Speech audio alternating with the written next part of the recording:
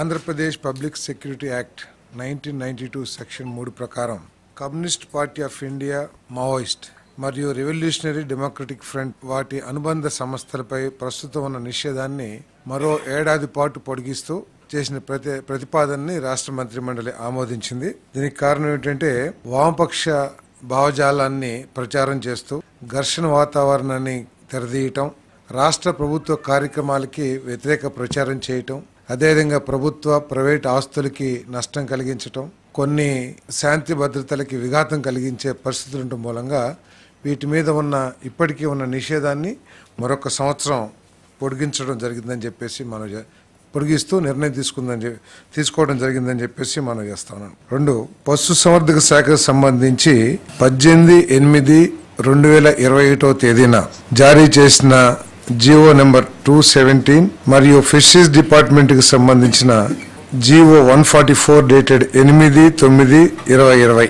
రద్దు కోసం చేసిన ప్రతిపాదనని రాష్ట్ర మంత్రిమండలి ఆమోదించడం జరిగిందని చెప్పేసి మనం చేస్తాను.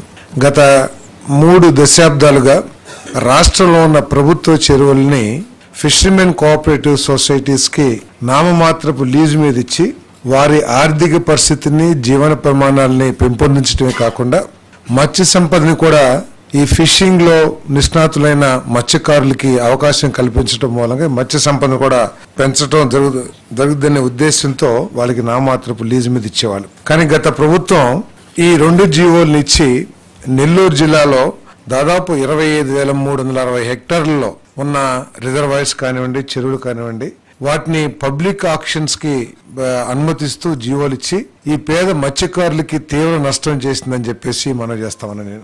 దాని మూలంగా మత్స్యకార సంఘాలు ప్రజా సంఘాలు కోర్టులకు వెళ్ళటం ఇవన్నీ కూడా జరగడం జరిగింది.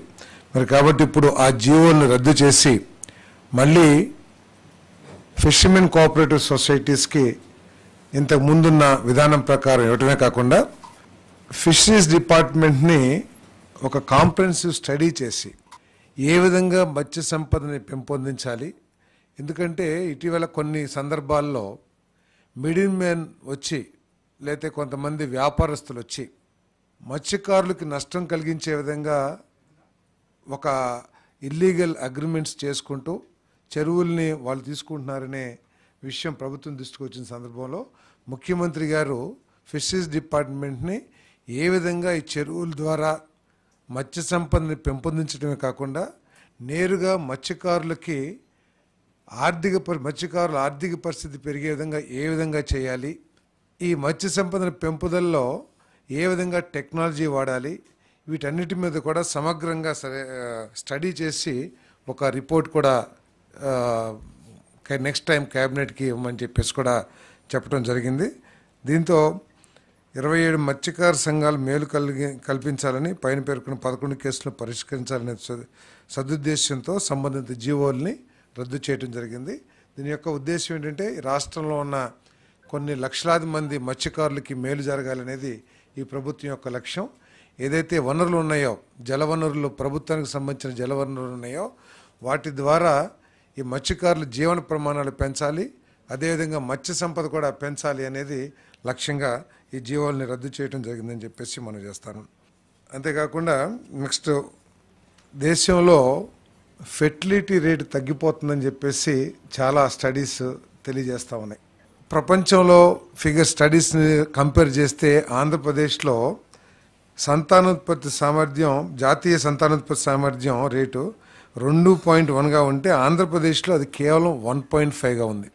ఇంకా ప్రపంచ దేశాలతో కూడా కంపేర్ చేస్తే ఆంధ్రప్రదేశ్ సంతానోత్పత్తి సామర్థ్యం రేటు చాలా తక్కువగా ఉన్న పరిస్థితుల్లో ఈ డెమోగ్రఫీ మేనేజ్మెంట్ చేయాల్సిన పరిస్థితులు కనపడతా ఉన్నాయి. అంతేకాకుండా ప్రస్తుతం లెక్కల ప్రకారం మన రాష్ట్రంలో పురుషుల యావరేజ్ వయసు ముప్పై రెండు పాయింట్ ఐదు ఉంటే రెండు వేల నలభై ఏడుకి నలభై ఏళ్ళు కానుందని చెప్పేసి కూడా కొన్ని స్టడీస్ చెప్తున్నాయి. అంటే రాబోయే సంవత్సరాల్లో యు- యువకుల జనాభా తగ్గి పెద్ద వయసు వాళ్ళ జనాభా పెరిగిపోయే పరిస్థితులు కనపడతా ఉన్నాయి. ఇప్పుడు కొన్ని దేశాలైతే ఓల్డ్ ఏజ్ హోమ్స్గా కూడా మారిపోయే పరిస్థితులు కనపడతా ఉన్నాయి. కొన్ని పాశ్చాత్య దేశాల్లో ఇప్పుడు చూసుకున్నట్లయితే ఏజ్ ఫిఫ్టీ సిక్స్టీ ఏజ్ ఉన్న వాళ్ళు ఎక్కువ జనాభా ఉంది. అదే ప్రస్తుతం మన దేశంలో చూసుకుంటే యంగ్ జనాభా ఎక్కువగా ఉంది. ఈ అసమ సమతుల్యం తగ్గుతుంది అనే పరిస్థితుల్లో. అంతేకాకుండా మన రాష్ట్రంలో ప్రత్యేకంగా ఈ సంతానోత్పత్తి రేటు తగ్గుతుందనే పరిస్థితులన్నింటిని కూడా చర్చించడం జరిగింది. అంతేకాకుండా దీని మీద ఎక్కువగా డిస్కషన్ కూడా జరగాల్సిన అవసరం ఉందని చెప్పేసి కూడా మరి క్యాబినెట్లో చర్చించడం జరిగింది. దీన్ని దృష్టిలో పెట్టుకొని ఇంతకుముందు మున్సిపల్ పురపాలక పరిపాలన మరియు పట్టణాభివృద్ధి శాఖలో ఉన్న ఇద్దరు పిల్లలకి మించి ఉన్నవారు మున్సిపల్ కార్పొరేషన్ మరియు మున్సిపాలిటీ ఎన్నికల్లో పోటీ చేయటం మరియు సభ్యులుగా కొనసాగడాన్ని నిషేధిస్తూ ఆంధ్రప్రదేశ్ మున్సిపల్ కార్పొరేషన్ చట్టం పంతొమ్మిది యాభై ఐదు మరియు ఆంధ్రప్రదేశ్ మున్సిపాలిటీ చట్టం పంతొమ్మిది వందల అరవై ఐదులో చేసిన చట్ట సవరణ రద్దు కోసం ఏదైతే ప్రతిపాదన చేశారో దాన్ని రాష్ట్ర మంత్రి మండలి ఆమోదించిందని చెప్పేసి మనం చేస్తా ఉన్నాను పంచాయతీరాజ్ మరియు గ్రామీణాభివృద్ధి శాఖలో కూడా ఇది ఇటువంటి చట్టమే ఉంది. ఇద్దరు పిల్లలకు మించి ఉన్నవారు పంచాయతీ ఎన్నికల్లో పోటీ చేయటం మరియు సభ్యులను అనర్హులుగా ప్రకటిస్తూ ఆంధ్రప్రదేశ్ పంచాయతీరాజ్ చట్టం పంతొమ్మిది వందల తొంభై నాలుగులోని సెక్షన్ పంతొమ్మిదికి చేసిన సవరణను రద్దు చేసేందుకు చేసిన ప్రతిపాదనని మంత్రిమండలి ఆమోదించడం జరిగింది. ఎందుకంటే పంతొమ్మిది వందల ఎనభై పంతొమ్మిది పంతొమ్మిది వందల తొంభై ఆ డికేట్స్లో జనాభా పెరిగిపోతుందనే ఉద్దేశంతో కానివ్వండి లేకపోతే వనరుల డిస్ట్రిబ్యూషన్లో ఉన్న సమస్యలు కానివ్వండి వీటన్నిటిని దృష్టిలో పెట్టుకుని ఆ రోజు ఇద్దరికంటే ఎక్కువ మంది ఉంటే జిల్లా పరిషత్లో లోక లోకల్ బాడీస్లో పోటీ చేసేదానికి అనర్ అనర్హత వచ్చే విధంగా చట్టాన్ని సవరించడం జరిగింది. మరి ఈరోజు ముప్పై ఏళ్ళ పాటు అమలుపరిచిన ప్రభుత్వం సంతానోత్పత్తి రేటు పనిచేయగల సామర్థ్యం ఉన్న జనాభా గణనీయంగా తగ్గుతున్న నేపథ్యంలో పిల్లల సంఖ్యపై నిషేధం అనవసరమని భావిస్తూ పంచాయతీరాజ్ గ్రామీణాభివృద్ధి శాఖ ప్రతిపాదన చేసిన ఈ సవరణకు మంత్రిమండలి ఆమోదం తెలియజేసింది. తర్వాత ఫేజ్ వన్ కింద నేషనల్ మెడికల్ కమిషన్ నిబంధనలకు అనుగుణంగా విజయనగరం రాజమహేంద్రవరం ఏలూరు మచిలీపట్నం నంద్యాలలో నూట యాభై సీట్లతో నిర్మించిన నూతన వైద్య కళాశాలలకు సంబంధించి గతంలో మంజూరైన పోస్టులకు అదనంగా మూడు వందల ఎనభై పోస్టులు భర్తీ చేపట్టాలన్న ప్రతిపాదనను కూడా మంత్రిమండలి ఆమోదించిందని చెప్పేసి తెలియజేస్తాను.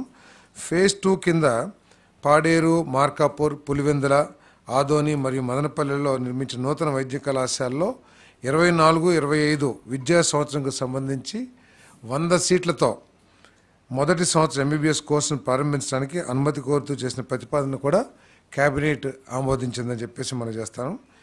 నేషనల్ మెడికల్ కమిషన్ నూతన నిబంధనల అవసరాలకు అనుగుణంగా నిర్ణయం తీసుకోవడం జరిగింది. ఈ సందర్భంగా గుజరాత్లో ఉన్న పీపీపీ మోడల్ను అధ్యయనం చేయాల్సిందిగా కూడా ముఖ్యమంత్రి గారు సంబంధిత శాఖ అధికారులని మంత్రి గారిని కూడా ఆదేశించడం జరిగిందని చెప్పేసి మనం చేస్తాను. జియో నెంబర్ నలభై రద్దు కోసం జలవనరుల శాఖ చేసిన ప్రతిపాదన మంత్రి మండలి ఆమోదం తెలిపింది. పదకొండు ఐదు ఇరవై మూడు నాడు జారీ చేసిన జియో నెంబర్ నలభై ప్రకారం నంద్యాల జిల్లా సున్నిపెంట గ్రామ పంచాయతీకి కే కేటాయించిన రెండు వందల ఎనభై పాయింట్ ఏడు నాలుగు ఎకరాల భూమిని రద్దు చేస్తూ ఆ భూమిని తిరిగి నీటిపారుదల శాఖకు బదలాయించే ప్రతిపాదనను రాష్ట్ర మంత్రిమండలి ఆమోదం చేసింది. ఈ ఈ భూమిని అన్ని చట్టాలని అంటే అటవీ చట్టాలని వాటన్నిటిని కూడా పరుగులో తీసుకుని రాబోయే రోజుల్లో అక్కడ శ్రీశైలం ప్రాంత అభివృద్ధి కోసం చేసిన మాస్టర్ ప్లాన్కి వినియోగించుకోవాలని చెప్పేసి కూడా సూచన చేయటం జరిగింది. ఎందుకంటే ఒక మాస్టర్ ప్లాన్ ఇప్పటికే శ్రీశైలం దేవాలయాన్ని అభివృద్ధి చేయాలనే ఉద్దేశంతో మాస్టర్ ప్లాన్ ఇప్పటికే తయారు చేయడం జరిగింది. దీన్ని ఈ భూమిని కూడా వాడుకొని దాన్ని అభివృద్ధి చేయడం కోసం ఈ- నిర్ణయం తీసుకోవడం జరిగిందని చెప్పేసి మనం చేస్తాను. ఇది సున్నిపేట పంచాయతీకి ఇవ్వడం జరిగింది. గ్రామ పంచాయతీకి.